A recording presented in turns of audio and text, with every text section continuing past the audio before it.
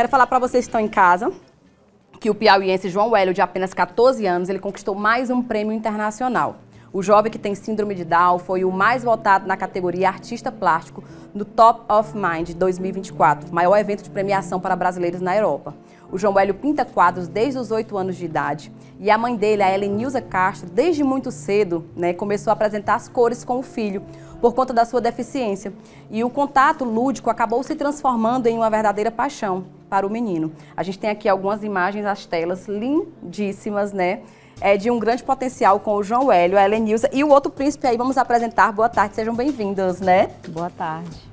E vamos apresentar esse aqui é o Jair e esse é o, o João Hélio. E esse é o João, o Hélio, João Hélio, que é o artista. Olha aí que tudo, né? E aí vamos falar aqui a pergunta que não quer calar, né? Como é que você começou a se identificar aí com as tintas e as telas, hein, príncipe lindo? Olha o olho dele, gente do céu. Já, eu tô rindo. tá aqui na TV. Fala, eu tô com a tia Mônica. Fala que tá com a tia Mônica. Boa tarde. Boa tarde. Boa tarde. Boa tarde. Olha que amor. Vem cá, conta pra tia Mônica como é que você começou aí a. com que idade, né? Que você começou a se inspirar para fazer as suas telas. Cada tela linda que você trouxe, hein? Olha aí. Com a ajuda da mamãe. Ele tem um pouco de dificuldade, né? Sim, sim. Papai. Ele tá amando se ver aí, viu? É o teu pai? Papai, papai. Papai, é. O paizão aí, o paizão é o maior fã. Tá ali cobrindo todos os detalhes, né? E é, conta pra gente, você como mãe, porque a gente destacou que você é, sempre incentivou isso, né? É, e é muito importante, independente do, do, de como você é, avaliou o que ele precisasse para estímulo, algo do tipo. Porque eu já faço isso com a minha filha. Eu acho que é importante a gente participar da vida do nosso filho de, no, no, máximo que a gente puder, né? E aí colhe os frutos, porque assim, se identifica, se socializa, se desenvolve. E aí, conta pra gente quando foi que tudo começou. Eu acho que a arte, é, para o João Hélio, ela, ela partiu mesmo da, da, do nosso incentivo, né? O incentivo quanto família a gente começou a perceber né, o apego dele com as cores. E nós percebemos também que foi através da arte que o João Hélio ele encontrou realmente a inclusão, né? Uhum. É. a gente sabe que é, é, existe o preconceito, né? E o, o preconceito Ixi é real.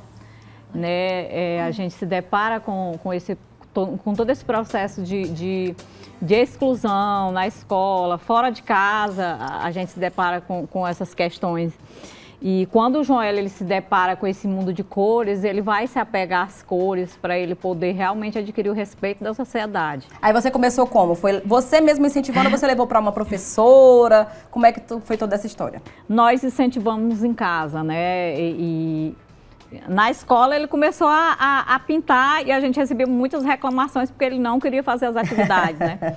E em casa a gente começou a comp comprar material profissional. É, né, Ai, que meu amor, amor, eu me emociono só de ver. a gente começou a comprar material profissional para ele. Né, o pai dele começou é. a comprar material profissional para ele uhum. e ele começou a pintar, é, é pintando, pintando piso, pintou o piso, né? Sim. Pintava o piso, móveis, paredes. E o pai dele começou a comprar material profissional, eu comecei a ter contato com artistas plásticos e curadores. Chora. Conversar e chora. mostrar, mostrar o, o, a arte dele que ele Sim. fazia e conversar e começar a entender, porque eu também não entendia, né? Eu uhum. tive que realmente estudar para eu poder entender. Uhum. E aí ele começou realmente a mergulhar nesse mundo da arte e desenvolver técnicas e mais técnicas que eu não conhecia muito bem. Ou seja, um grande artista, né, dentro de Exatamente. casa. E carinhoso, ele é, viu? Muito. Muito e ele carinhoso. É, e ele é autodidata, né? Ele não frequentou escola de arte. Então, a, as técnicas que o Joel desenvolve realmente é da cabeça dele. E dentro do dia dele, como é que ele se divide? Assim, ele, ele tem aquele momento certo que já tem uma rotina para ele fazer a pintura ou você não, tem os horários certinhos, como é? Antes não tinha, né? Antes é, ele realmente não tinha esse planejamento. Hoje ele tem um planejamento dele, né? No tempo final dele? de semana, no tempo é, é, final de semana, uhum. né? Porque tem a escola, ele tem um reforço, ele faz as terapias dele. Sim. E final de semana é o momento da diversão. Então...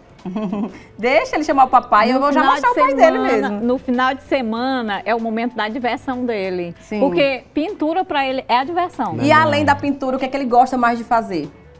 gosta, dia a dia? É, ele gosta de andar de bicicleta, gosta de dançar, gosta... Sério? Ele, demais. Ah, não. Qual é a música que ele gosta de dançar pra eu ver se ele vai querer dançar ao vivo aqui? Qual é a música? Pra dançar com a tia Mônica aqui, por favor. Forró. Não me diz que é o casca de bala. que a minha adora casca de bala. Ai, meu pai. Ele gosta de rap. Olha o tipo de música que ele gosta. Ele gosta de rap. Bem antenados. Não, Ele DJ, gosta solta um rap aí, por favor. Mas ele gosta realmente de rap. De rap. De rap. Eu fico impressionada. Olha ele aí. gosta de rap. Joga um rap aí pra ele, sim. Ele gosta de rap. Inclusive, ele faz aula de violão. Mentira. Faz. Quando ele começar a tocar, já quero ele aqui também. To... Olha, vai. Olha, ele faz, ele gosta muito de rap. E o ídolo dele é quem? O muçulmano. Eu, vocês conhecem o muçulmano. Muçulmano. Pesquisa aí, Tem DJ. 10 milhões. Muçulmano. Como é o nome? O muçulmano. Tem 10 milhões de, inscritos. O ídolo 10 dele. milhões de, inscritos, né? muçulmano. Muçulmanos. Olha, a gente vai ouvir, eles vão preparar. E agora eu quero falar com o irmão dele, que é o Ju... O, o, Ja- o Jair. Jair. Conta pra, pra gente como é que tá, em, que tá em casa. Como é ter um irmão, assim, artista como seu irmão? É muito legal é, ver meus amigos falando vez sobre ele. É muito legal. É, né? Você ama muito esse irmão lindo, hein?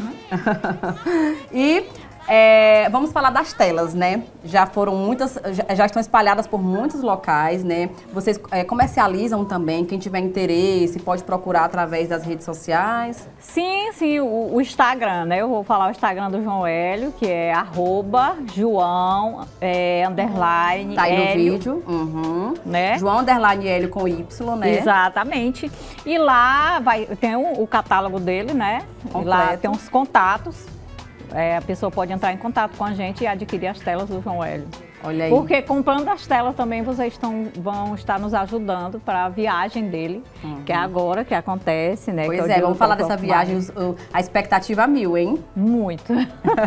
Todo mundo aqui está elétrico com essa viagem. Eu Mais uma acredito. viagem do João Hélio. Mais uma viagem. Mais uma viagem. O João Hélio, ele já fez, eu acho que o João Hélio ele é bastante conhecido na Europa, né?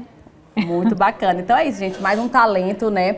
E a prova de que você, é, enfrentando seus desafios no dia a dia, principalmente como mãe, que são muitos, né? É, para não deixar aí a peteca cair, não esmorecer diante de nenhum tipo de situação, né? Isso você, como mãe, pode afirmar o que eu tô falando, né?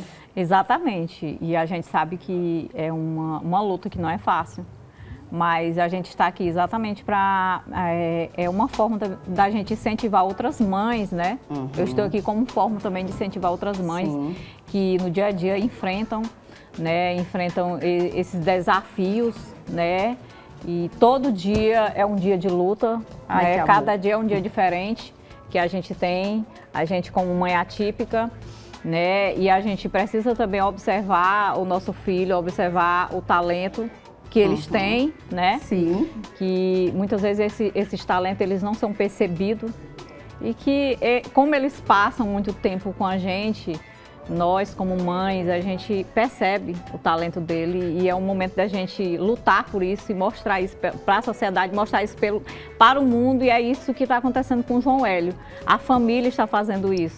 Olha né? aí, mostrando gente. o talento dele para o mundo e mostrando Fica o o que ele é capaz. exemplo, pois é, siga o exemplo, o incentivo dessa mãezona que é a Ellen Nilza nesse mês de maio. Para mim é uma honra estar entrevistando e mostrar toda a sua força e sua garra diante dos seus filhos, que é o João Hélio e o Jair Castro. Eu vou encerrar essa entrevista chamando o intervalo com a dica do Oliveira Variedades, mas eu quero encerrar com um abraço. Será se os dois podem me abraçar? Abraçar a tia Mônica pra gente ir pro interva- coisa no linda. intervalo?